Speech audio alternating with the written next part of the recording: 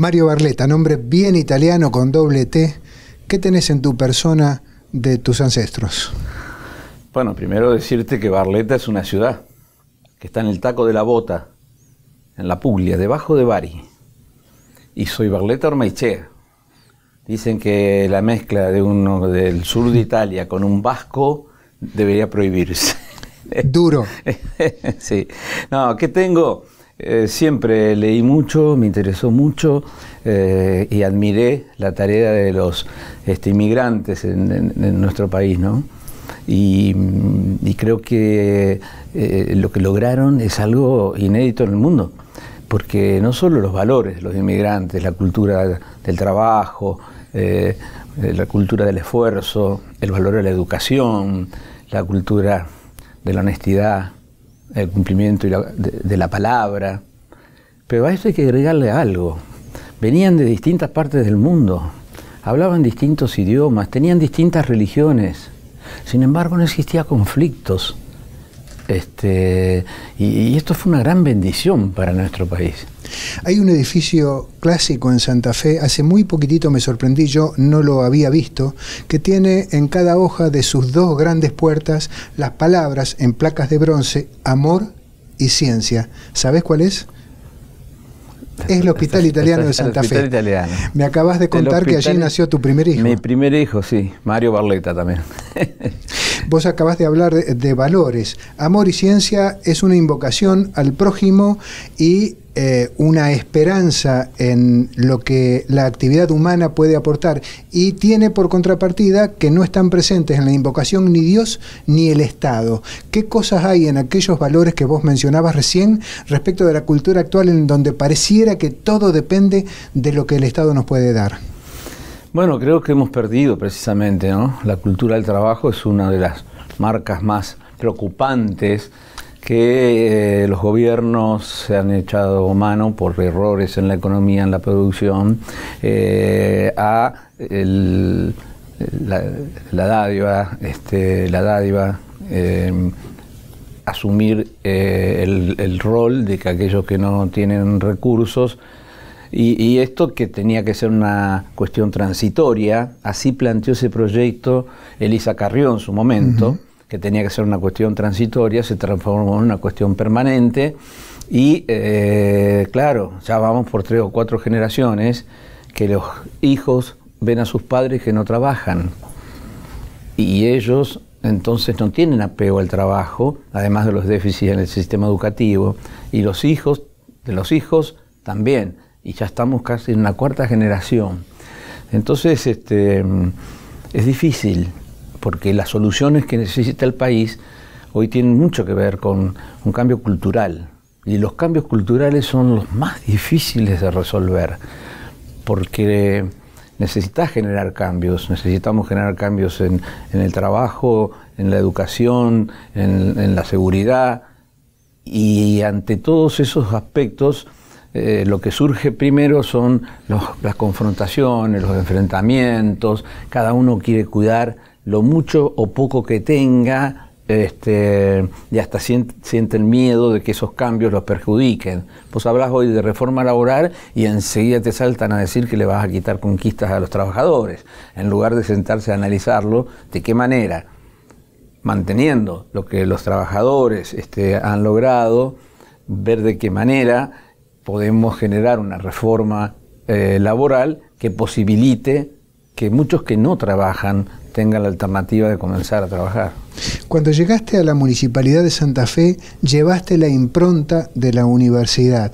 Es algo que por lo menos en lo que yo he visto en la política santafesina no tenía antecedentes. veníamos de una dinámica de partidos, de movimientos que tenían mucha participación en, las unidades básicas, eh, entre correligionarios, pero había allí en ese paso que hiciste un cambio que es un saber hacer, un know-how, un ordenamiento para una política que estaba ciertamente caótica, particularmente acá en Santa Fe. Si hay algo que yo le agradezco a la vida, es que me dio la oportunidad de que a partir de los 29 años, eh, yo asumí el 2 de enero del 84 y hasta el año este, 2007 eh, trabajé siempre en la universidad. Y de ser un ingeniero que había trabajado en el proyecto Paranamedio, en el Chaco con el tema de las inundaciones del Río Negro y demás, bueno, se me fue generando una pasión por el tema de la educación, una pasión por el tema en equipo, por el trabajo en equipos, eh, y yo creo que fue eso, ¿no? Eh, lo que me decidió, por un lado, mm, decir que sí, que iba a ser a intendente, pero llevar la impronta a la universidad tiene que ver con, bueno, con, lo que alcanzó a ser la Universidad Nacional del Litoral. No por, por propia, eh, no, por mí, sino que, eh, bueno, siempre lo decíamos, ¿no? Hay que pararse en los hombros del que estuvo antes para ver más lejos. Y eso es lo que ha hecho la Universidad Nacional del Litoral. ¿Qué hay en la ciudad hoy de aquellas cosas que vos trajiste a Santa Fe en tu gestión que tuvieron un aporte sustancial de la universidad y que no estaban y que aún perduran, que se pueden ver? Bueno, eh, fundamental la, tarea que hicimos en la universidad y que también la llevamos al municipio eh, y que deberíamos ahora ponerlo como una de las políticas claves es este, la reunión de la producción con el conocimiento. Eh, salir de esa figura de la universidad de una campana de cristal solo para formar profesionales y por el contrario involucrarse en procesos tanto productivos, sociales. En la universidad generamos el programa SOS Música, que era eh, enseñarles violín a los chicos de las escuelas más vulnerables, con mayor cantidad de problemas. Eh, y realmente fue fue una cosa que, no, podía ir mucho a los actos donde los chicos, eh, al ver un niño, poner, colocarse el violín, y en ese momento, en el acto, yo me acuerdo, patente en la escuela Galvez, eh, cuando fuimos al primer acto que nos iban a hacer una demostración de lo que habían alcanzado a, aprender, y una maestra se me acerca y cuando ellos empiezan a a tocar algunas canciones, piezas, me dice, nosotros nunca logramos que cuando están todos los cursos en el patio, sentados en el suelo, haya un silencio absoluto. Mirá que hacemos actos y demás. Cuando cantamos el himno no logramos que se queden callados. Cuando está el discurso de la directora no logramos que se queden callados. Bueno, este, tanto, tanto me enamoré de ese, programa que cuando pasé de rector a intendente lo llevamos para la municipalidad, porque en la municipalidad íbamos a, íbamos a tener más, eh, más posibilidades. Eh, generamos el programa, el programa Padrinos, por ejemplo, que es acordate yo asumí en el 2000, 2001, 2002 estábamos en la peor de las crisis. Así es. Este, pero yo digo, no, tenemos que doblar la apuesta. Entonces empezamos a convocar a comerciantes industriales. Y el discurso era, mira, la universidad viene trabajando hace mucho tiempo para que vos puedas contar con los contadores, los ingenieros, la gente formada que le hace bien a tu, a tu empresa. Pero es notable porque esos profesionales, esas preparaciones se suponían que provenían de los partidos políticos, eh, instituciones indispensables de la democracia en los términos constitucionales de la reforma, y sin embargo los partidos, por lo menos eh, eh, los mayoritarios, se fueron debilitando, se fueron vaciando. De alguna manera lo universitario vino a sustituirlo, vino a complementarlo. ¿Cómo lo ves? Sí, yo lo que creo que la universidad, en lo que te estaba contando en los momentos de mayores crisis, este, con todos estos empresarios le decíamos, para terminar el relato, bueno, ahora vos tenés que devolverle a la universidad lo que la universidad hizo por vos. Entonces creamos el programa Padrinos este, y le pedíamos una cantidad de dinero y todos los meses, más de 120, estábamos en la peor de las crisis, más de 120 industriales, comerciantes, eh, empezó a aportar, empezó a aportar, empezó a aportar. Lo quiso invitar la Universidad de Buenos Aires y no lo logró. Y es la única universidad del país que hoy tiene gente que sigue aportando en, el sentido del agradecimiento de lo que la universidad hizo por ello. Bueno, todas estas cosas fueron generando una universidad muy comprometida, eh, una universidad que se abrió totalmente eh, y también señalamos en aquel momento em, que la universidad debería tener en cuenta el lugar y el tiempo en el que le toca vivir. No puede estar ajena a una ciudad con altos índices de pobreza, con gente que no conseguía trabajo, te repito, en la crisis del 2001-2002. Esto generó una fuerte discusión en la universidad porque empezamos a generar eh, propuestas para formar a la gente que necesitaba formarse, cocinero, peluquero, un montón de estas cuestiones. Los científicos más. Nos decían, pero esa no es una función de la universidad. Fue un lindo debate. Pero eso fue generando que la universidad, este, ya te digo, y, de cuestiones que llevamos, de la impronta universitaria, eh, bueno, tiene mucho que ver el equipo. Yo me llevé los mejores que estaban en planeamiento urbano en la universidad este, para planeamiento urbano en la, ciudad. Los mejores que estaban en el tema de economía para llevarlos eh, Belén Echeverría, el Piojo Navarro. así se fue conformando un equipo que venía de una universidad que es como yo te decía, ¿no? muy comprometida, muy profesional. Eh, yo a todos les exigía exclusividad. Bueno, salvo la actividad docente, podían hacerla, pero después exclusividad creo que eso fue importantísimo para la tarea que hicimos dentro de la, dentro de la Intendencia después. Y dentro de esa impronta, eh, ya te digo, muchísimos programas que implementamos en la universidad. La universidad es un ambiente relativamente tranquilo.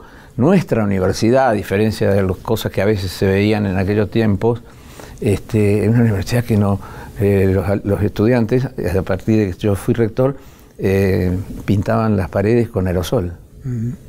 La facultad de ciencias jurídicas no se podía entrar, no veías las paredes. Bueno, de a poco fuimos generando condiciones y establecimos que en las elecciones estudiantiles 10 días antes podían correr afiches, 15 días antes, y el día de las elecciones, al día siguiente de las elecciones tenían que, bueno, con la reforma del 94 yo era secretario general, habíamos logrado que el Estado nos pague un montón de plata, porque habíamos negociado, hasta último momento estaban anunciando si la reforma se hacía en la universidad, estaban en el municipio, y nosotros le pedíamos, no, no, no, para que se haga acá tanto. Este, además nos tienen que arreglar extensión universitaria y la biblioteca Galvez, y bueno, quedó impecable la universidad. Bueno, a partir de ese momento también implementamos cosas que a vos te parecerán son ceras a lo mejor pero el primer este, no docente que llegaba a la universidad, que iba una hora antes de la entrada, después por supuesto salía una hora, también una hora antes, revisaba las paredes de todo el entorno de la universidad. Y si veía un graffiti, tenía obligación automáticamente de, tenía la pintura adecuada para este, taparlo. Entonces el que había puesto el graffiti cuando pasaba a las 8, 8 y media, 9 de la mañana, no estaba más. Bueno, ve la universidad ahora, nunca más se la pintó, nunca más. Vas a la Facultad de Ciencias Jurídicas, es un lujo. Bueno, este tipo de cuestiones genera conductas en la sociedad, que es algo que también se fue degradando lamentablemente en nuestro país, ¿no?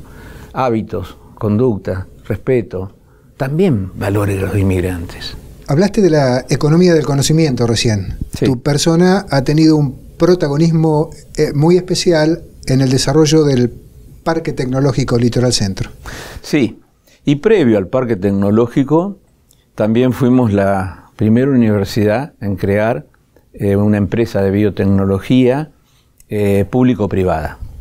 Ricardo Crati, un investigador que fue a Alemania a hacer su tesis doctoral, cuando llegó a la universidad, yo era secretario de Ciencia y Técnica en ese momento. Él me va a ver y me, bueno, me contó que tenía el know-how de la eritroproyectina recombinante. Esa es una droga imprescindible para los enfermos renales. Argentina importaba el 100% de esta droga.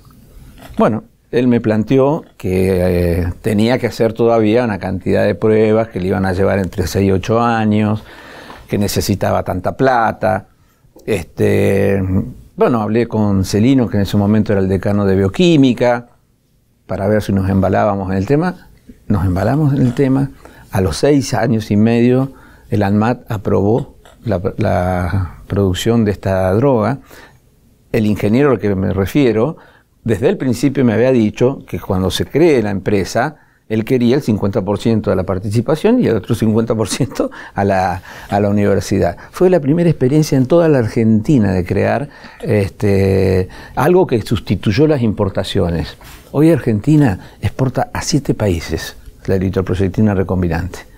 Lo mismo hicimos después con este, un docente de la Facultad de Ingeniería Química eh, con el incipiente de los medicamentos. El incipiente es, cuando vos te tomas una cafeaspirina, eh, la droga tiene el tamaño de la cabecita de un alfiler. Todo el resto para darle volumen y que lo puedas ingerir. Esto también lo importábamos.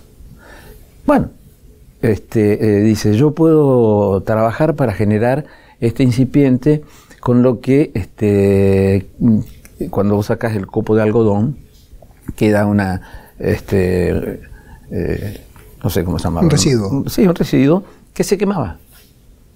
Digo, ¿y con eso vas a hablar? Sí, sí. Bueno, empezó, lo ayudamos, lo apoyamos, le pedíamos a la provincia, a la nación, de todos lados, algo sacábamos, ¿no? Este, y, y lo logró.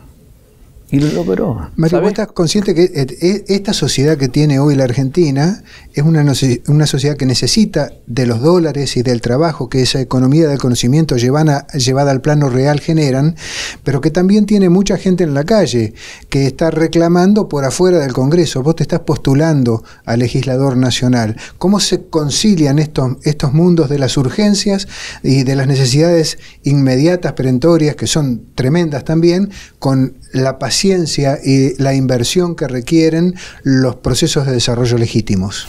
Los procesos de desarrollo legítimo, algunos sí requieren tiempos, tiempos bastante prolongados, pero hay un montón de otros, fundamentalmente cuando aparece la figura del emprendedurismo, también la primera universidad que la incorpora como materia en la Facultad de Ciencias Económicas y después lo abre para cualquier facultad como materia optativa.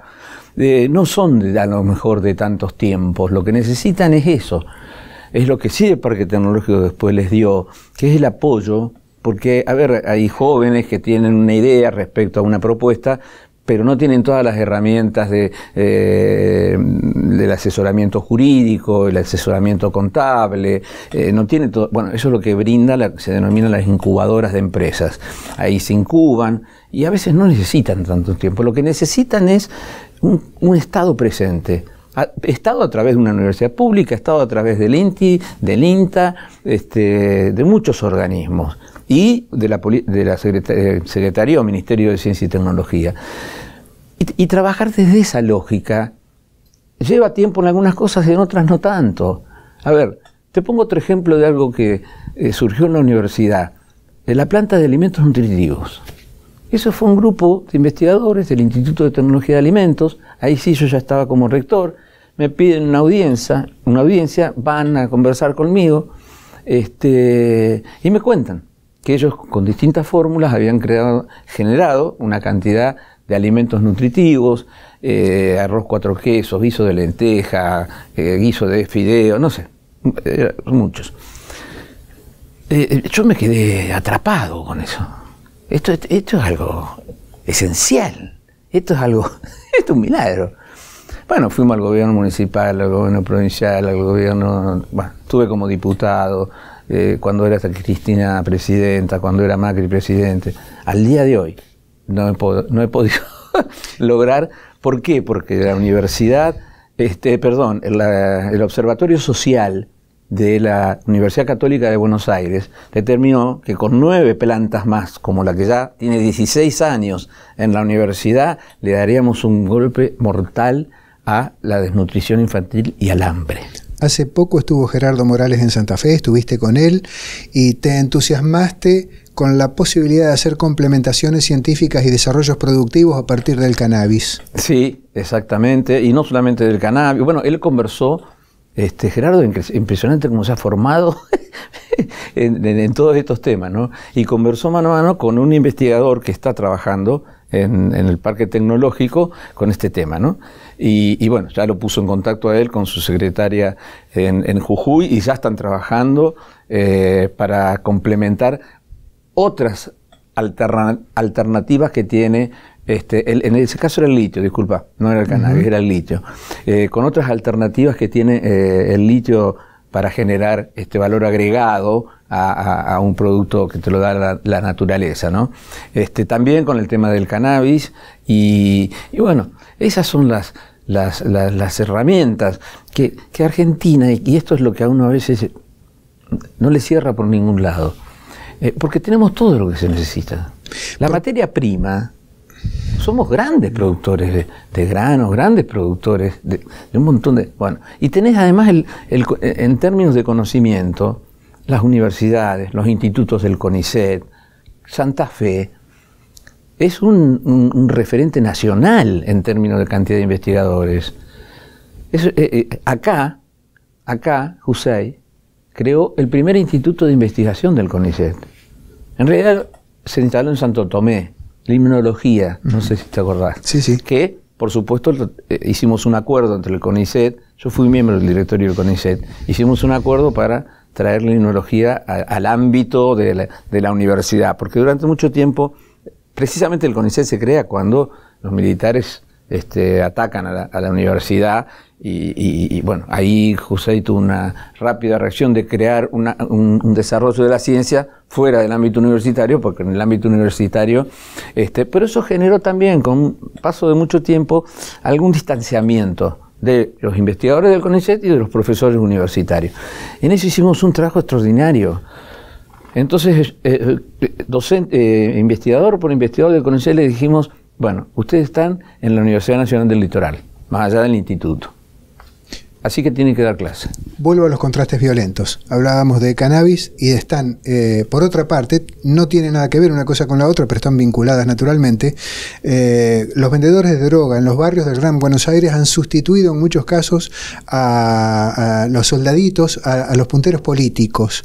Este, ese tipo de organizaciones va cooptando eh, masas de poblaciones que no tienen alternativa para sustentarse y para vivir y que en el caso de Rosario generan además violencia. Hace un rato eh, señalabas el Estado, la necesidad del Estado presente. ¿Cómo se hace? Vos, vas a ser legislador nacional seguramente y además tenés eh, el dilema de que por pruritos la ley de cannabis en la Argentina todavía no ha visto la luz. ¿Cómo crees que hay que abordar esta necesidad de llevar trabajo, de llevar a partir de sustancias este, controversiales desarrollo y trabajo y a su vez de abordar esta problemática social de la inseguridad que tanto nos, aqueja? Es muy fácil. Pasar por cualquiera de los puentes que nos unen con, Uruguay y estudiemos la experiencia uruguaya. Ellos ya lo lograron es más, también llevaron, llevaron adelante el tema del cannabis eh, para no solo para uso medicinal, sino también para uso recreativo. Y pusieron en marcha un programa. Un programa que vale la pena analizarlo y estudiarlo porque es muy cuidado. Vos te tenés que registrar en una farmacia determinada y tenés una cantidad este, que podés comprar eh, y tiene muchos controles. Es una pregunta que ahora me hacen. ¿Usted en la, Cámara de Diputados aprobaría un proyecto del cannabis eh, para uso recreativo? Eh, y yo contesto siempre lo mismo. Necesito estudiar un poco más. Hay que evaluar la experiencia de Uruguay, que ya pasó unos cuantos, una cantidad de, tiempo, y, generar una propuesta en donde el Estado no esté ausente. Pero ya que me sacás el tema de los efectos este, que generan las drogas, eh, vamos a presentar también un proyecto que se llama Infancias Protegidas. El proyecto infancia, viste que cuando hablamos de delitos y demás, este, en la política parece que la única solución es bajar la edad de imputabilidad, ¿no? Bajarla de 16 a 14 y después dentro de un, par de años o tres van a decir bajémosla de 14 a 10 y después vamos a decir bajémosla de 10 a 8 y no sé cuándo vamos a terminar. Bueno, nosotros queremos presentar este proyecto de infancias protegidas ¿De qué se trata? De eh, eh, elevar las penas a aquellos delincuentes, a aquellas organizaciones que utilizan a los niños y a los jóvenes menores de 16 años, porque al estar, este, al ser inimputables, eh, no hay consecuencias si los encuentran. Y hay muchos chicos, lamentablemente, cuando Carolina Lozada dijo esto, salieron a, criticarla. Pero hay tantos chicos en esos barrios que ven esa casa que está bien pintada, que tiene una moto, que los chicos salen de ahí con zapatillas este, nuevas o andan con celulares. Bueno, ahí vive un narcotraficante. Entonces, ¿cuál es la motivación en la vida de un niño que está viviendo en esos lugares y que ve como única alternativa para su crecimiento, para su progreso, involucrarse. Entonces los cooptan con mucha facilidad. Por eso vamos a elevar las penas al mismo nivel que tiene el abuso sexual de los niños. Em, ya sé, no es sencilla después implementarla, pero por lo menos que sepan que si se meten con los niños van a cobrar penas que los van a dejar de por vida en la cárcel. Mario, hay mucho por hablar en esta Argentina, este tiempo se ha acabado, tendremos nuevas oportunidades seguramente. Gracias. No, gracias a vos, un gusto.